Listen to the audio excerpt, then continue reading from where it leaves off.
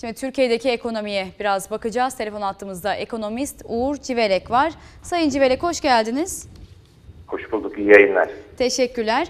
Ee, Türkiye ekonomisi 5.1 büyüdü denildi. Peki bu rakamlar bize neyi işaret ediyor? Bununla başlayalım.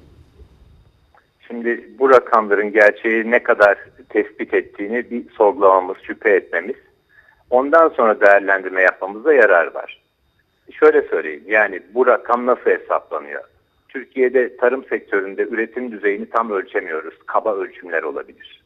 Hizmet sektörünü yüksek düzeyli kayıp dışlık nedeniyle hiç ölçemiyoruz. Sadece sanayi üretimini anket yoluyla ölçüyoruz.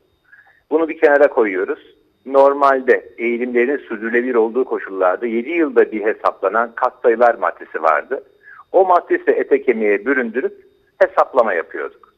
Ancak 95'ten bu yana eğilimler sürdürülebilir olmamasına rağmen katsayı değişikleri 96'da sonra 10 yıl sonra 2005'te en sonunda 2016'da yapıldı.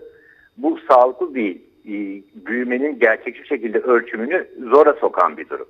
İkincisi metodolojik değişiklikler oldu. Ve her katsayı değişikliğinde kayıt dışılık e, yükseltilerek e, daha iyi rakamlar gösterilmeye çalışıldı.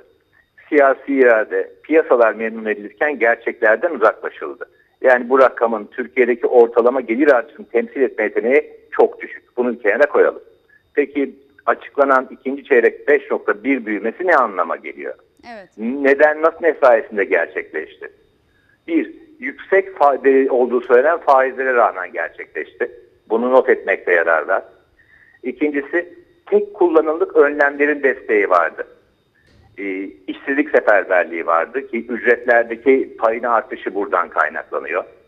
Ee, döviz satım seferberliği e, artı bir takım teşvikler vardı. Vergi indirimleri, talebi öne çeken bu büyümeyi %5 düzeyine getirdi 5.1. Bu tabii ki 2018'i zora sokan bir durum. Muhtemelen 3. çeyrekte de 7'nin üstünde bir rakam çıkacak. Geçen yıl 3. çeyrek çok kötü olduğu için ama bunlar bunun zor en kötünün atlatıldığı her şeyin daha iyi iyiye gideceği anlamına kesinlikle gelmiyor.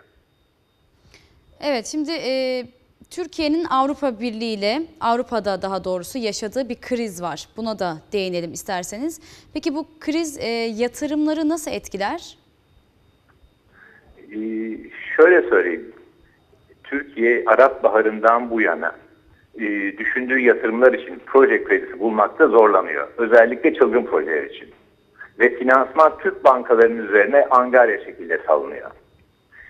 İlişkilerin bozulması ki Türkiye dış finansmanın önemli kısmını Avrupa'dan temin ediyor. Bu Evet. işi daha da zora sokar. Yatırımlarındaki artış biraz hayal olmaya başlar. Bunu dikkate almak gerekiyor ama ilişkilerin bozulması ekonomik temelli değil siyasi nedenlerle bu bir süre daha devam edebilir. Sonu belirsiz. Onu dikkate almak lazım. E, mesela 2019 seçimleri buna bir etken olabilir mi dediğiniz cümleye? Ee, olabilir. Şöyle söyleyeyim. Dünyada e, işler pek iyiye gitmiyor. Geçen yıl 2016 çok kötü bir yıldı. Gelişen ekonomilerden e, görülmemiş düzeyde sermaye çıkışı yaşandı. Bu yıl bir dinlenme modu. Önümüzdeki yıl faizlerin yine yukarı hareketlenmesiyle ciddi çıkışlar olabilir. Bu Türkiye'nin dı- dışarıya finansman bağımlılığı nedeniyle çok yorabilir. Ee, ekonomi daha kötüye gitmeden seçimlerin erkene alınması tartışılıyor olabilir.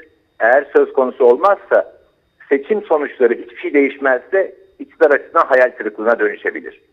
Veya dönüşmemesi için siyaset yapma şekli büyük ölçüde değişebilir. Türkiye'nin eksen kayması e, olasılığı daha yükselebilir. Anlıyorum. Ee, şimdi Cumhurbaşkanı Recep Tayyip Erdoğan'ın bir açıklaması vardı geçtiğimiz günlerde. Türkiye'deki e, parlak beyinler batıya göç ediyor dedi. Bununla ilgili neler söyleyeceksiniz? Yani Türkiye'de değil batıda e, oluyorlar dedi. Şimdi e, söylenen söze iki örnek vereyim. Bir, 2001 krizini yaşadık. 2001 yılı içinde e, yurt dışına göç başvurusu yapan ki özellikle yüksek eğitimli kesimlerden çok oldu. Hatta Kanada bir ara Ankara Büyükelçisi'ne soru sormuş. Türkiye'de ne oluyor? 2 milyon kişi göçmen başvurusu yaptı diye. Benzeri durum 15 Temmuz'dan sonra da yaşandı. Türkiye e, çok ihtiyaç duyduğu kıymetli beyinleri içeride neden tutamıyor? Bunun belli sebepleri var. Bir, içerideki istikrarsızlık. İki, içerideki farklı ayrımcılıklar. İki, Türkiye'de o- ortak paydayı bulmak konusundaki çabaların yetersizliği insanlarda hayal kırıklığı yaratıyor. Gelecek güvencesi konusunda olumsuz bir durum yaratıyor. Güven bu- bunalımına sebep oluyor ve göç bunun sebebi olarak karşımıza çıkıyor. Biz sonuca bakarak sebepleri doğru tespit etmek, bunları çözdükten sonra belki daha iyiye götürmek durumundayız ama ne yazık ki bu konudaki çabalar yetersiz. İşin bir başka yönü, bizim üniversitelerimiz 1980 sonrasında bilim adamı yetiştirmekte zorlanmaya başladı. Giderek kıymetli beyinler daha e, e, az yetişti ve onları da içeride tutamıyoruz. Bizim üniversitelerde de işin bilim tarafını ön plana çıkarmamız, bunu bastıran yanlışlarımızdan arınmamız lazım. Mesela nedir bu yanlışlar? E, siyasete bakarsanız zaten görürsünüz. E, 12 Eylül'den sonra üniversitelerdeki e, kadrolara bakın. Daha çok e, siyasetin ön plana çıktığı, daha vasıflı insanların e, hak ettikleri yerlere gelemedikleri, üniversitelerde kadrolaşmaların çoğunlaştığı, liyakatın geri plana itildiği bir süreç yaşadık. E, Bu tabii ki e, güçlü beyinleri içeride tut- e, tutmak için yetersiz bir durum. Göçleri de teşvik ediyoruz adeta. Bu yanlışlardan uzaklaşmamız lazım. Evet bugün e, Merkez Bankası'nda bir açıklaması oldu. Faizde bir değişiklik yapmayacağını söyledi. Buradan ne anlamalıyız, ne çıkartmalıyız peki? E, bu yılın ilk çeyreğinde faizler en son yükseltilmişti. Şu anda gecelik faizler %12 düzeyinde. Ama enflasyonumuzun da yıllık bazda 10.68 düzeyinde olduğunu unutmayalım. Çok yüksek bir reel faiz vermiyoruz. Faizleri daha fazla yükseltme, yükseltmeye kalkarsak yan tesirler siyaset için, ekonomi için olumsuz olabilir. Merkez Bankası beklendiği gibi faizleri değiştiremedi. Kurlardaki gerileme de sonlanmış gibi görünüyor. Bu hafta bir hareket gördük. Bizim dışımızdaki nedenlerden dolayı. Ama siyaset faizlerin düşürülmesini talep ediyor. Bankaları sıkıştırmaktan bahsediyor. Ee, Eylül sonrasına yönelik özellikle ciddi belirsizlikler var. Şu anda yeni bir kredi me- mekanizması devreye sokuldu. Merkez Bankası Exim Bank aracı olmaksızın ihracatçıya bankalara günlük limitler vererek kaynak kullandırılacak. Bu TL kullanılacak ama döviz olarak dönecek rezerv destekler. Eğer faizleri düşürmek için TL krediler TL dönüş olarak kullandırılmaya başlanırsa Merkez Bankası üstünden bu kurlar üzerinde ciddi baskılar yaratabilir, kontrolü kaybedebiliriz. Şu anda gidişattan siyasi iradenin memnun olmadığı açık. 2018'e ilişkin bir takım endişeleri var. Çözümü faizleri düşürmekte arıyor. Yanlış bir yaklaşım olabilir. Kendi gerçeklerimizle pek bağdaşmıyor.